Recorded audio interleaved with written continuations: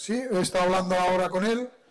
y él me comenta que, que a medida que iba pasando el partido, él se notaba que se iba a romper y que antes de romperse, que ha preferido salir. Algo pasa porque nosotros estamos perdiendo un jugador por partido casi, por, por algo, algo pasa, o algo estamos haciendo mal, o, o será cuestión de mala suerte, que es una racha, no lo sé, pero algo, algo nos está pasando que, que en todos los partidos eh, tenemos problemas musculares, mm, no lo sé, tampoco jugamos tantos miércoles, domingos, es verdad que estamos en otra competición y a lo mejor no hay costumbre de eso, pero, pero lo cierto es que eso nos está, nos está privando mucho, sí.